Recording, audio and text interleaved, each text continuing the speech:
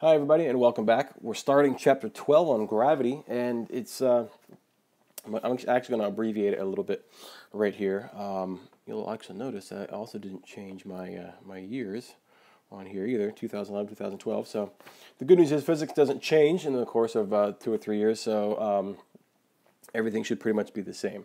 But uh, let's just go ahead and get started, and uh, I'll introduce the whole idea behind uh, universal gravity and that is, and you're probably seeing some boxes right here. Um, Newton's law of universal gravity or gravitation, sometimes it's referred to as. All right, what, we're, what it says here is that there, a gravity, a force of gravity exists between any two objects.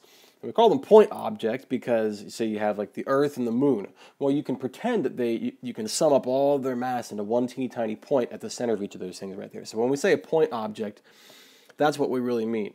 So here's the Earth, oops, um, right here, and here's the moon. I'll do it in gray. All right, we can pretend that they are exactly this distance apart, actually this distance apart from each other, from center to center right there. So you can pretend they're actually points. Um, and all that mass is concentrated in, in, those points right there. That's what we mean by point mass. So it, it can be mass 1 and mass 2 uh, mass A, mass B, whatever you want to call it. All right, and it's, it is attractive. All right, and uh, the magnitude of that force of gravity is summed up like this: the force of gravity between those two objects, any two objects. It doesn't have to be the Earth and the Moon. It can be you and your pencil. It can be you and anything else. Um, that force is equal to g, this, G, this letter G right here, which I'm going to describe in just a second, times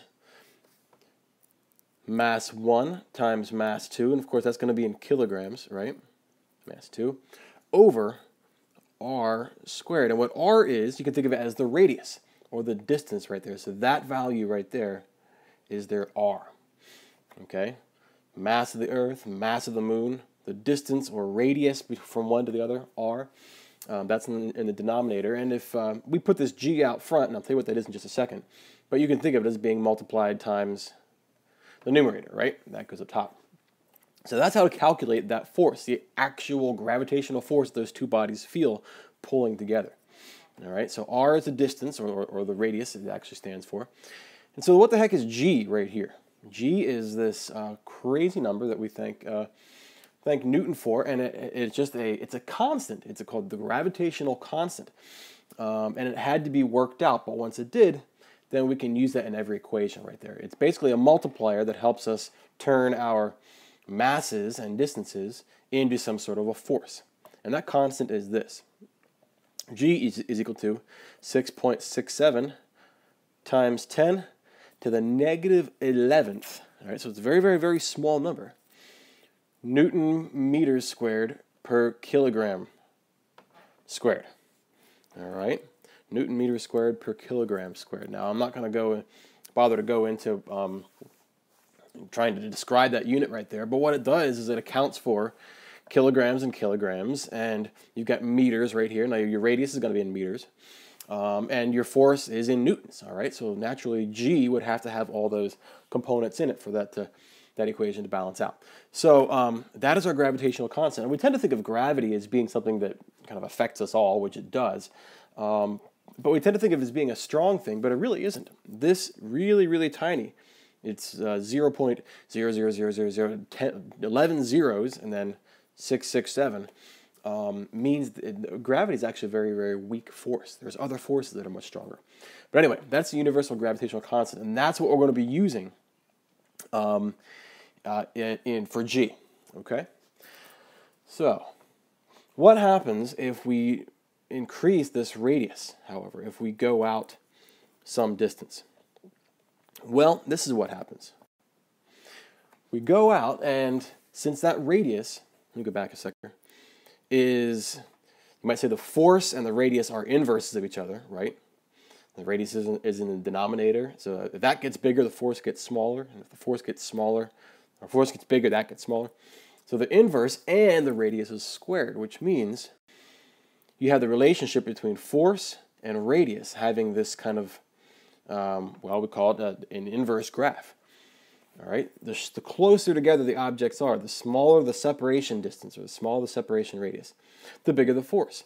But as you increase your radius, you, you increase your separation distance, that force drops off dramatically.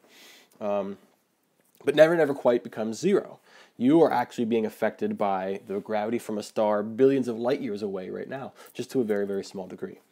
All right, so we call this the, the law of universal gravitation. That is, there's an in, inverse square relationship between the force, the force of gravity, or the strength of gravity, um, and the distance, or the r. Okay, gravity has an infinite range, so it stretches out into infinity. That's why I said you're affected by stars billions of light years away. So it gets very, very, very, very, very, very, very small, but never quite becomes zero because you're still affected by it. All right, um, but what we can do is we can um, Oops, this got cut off here, I think. Can I move this up? Let's see if I can try to. Um, oh, that got just cut off. Sorry about that. That should say, what should that say? There we go. Um, superposition. All right, and what that means is that you can take all the, the, the vectors, all the, the, the force vectors that are acting, that is the gravity force vectors that are acting on an object, and sum them up and actually uh, cancel a bunch of them out because you're being pulled by a star millions of light years away. So here's you right here. You're being pulled by that star, but you're also being pulled by this star millions of light years away as well. So to some degree, all those forces kind of kind of cancel out. Um, so we, uh, so one thing to make this easier is just to sum up all sum up all of the forces. So this should say it is a vector sum of each um, each of the other forces individually. All right, so sum up this force plus this. Well, they're acting in opposite directions, so they're going to cancel each other out. All right, so that's what we can do uh, with gravity, as well as other vectors as well. So let's do an example right here. This is going to be example one. All right, and we have um, an astronaut and a spaceship. So here, I'll draw this in blue. Um, so here's our astronaut right here in his astronaut suit, and here's a spaceship okay, way out, some distance away from him. Uh, and because they both have mass, there is a force of gravity between them, and that is 80 newtons. Okay? So, what were to happen if at this distance right here, we were to take that and move the astronaut four times away? All right, that's what this says right here. So, normally, this distance d, whatever distance that is, he experiences a gravitational pull of 80 newtons, right? But now he moves out to 4D. So the spaceship or the space shuttle is way over here. Okay? So this is distance D. This is 4D. The question is, what is the force of gravity between them? Because it's going to be different because the force of gravity depends on distance, right? Well, let's write this out for a second. Let's write our, our um, gravitational uh, equation out. So we can say in this scenario, the force of gravity equals g times mass of the astronaut, or we can call that a mass 1, times the mass of the spaceship, that's mass 2, or you can call it mass 1 or mass 2, that's fine as well, all over the distance, or you might want to say the r squared. All right, and that equals 80 newtons. All right, well, what's this down here? Well, we don't know the distance, we don't know the masses, but that's okay. The force of gravity, we'll call that at 4D, okay, it's a 4D right there, equals G times mass of the astronaut times mass of the space shuttle times 4D, that distance squared. All right, well, now what's the only difference right here? The only difference is this 4 in the denom denominator right here.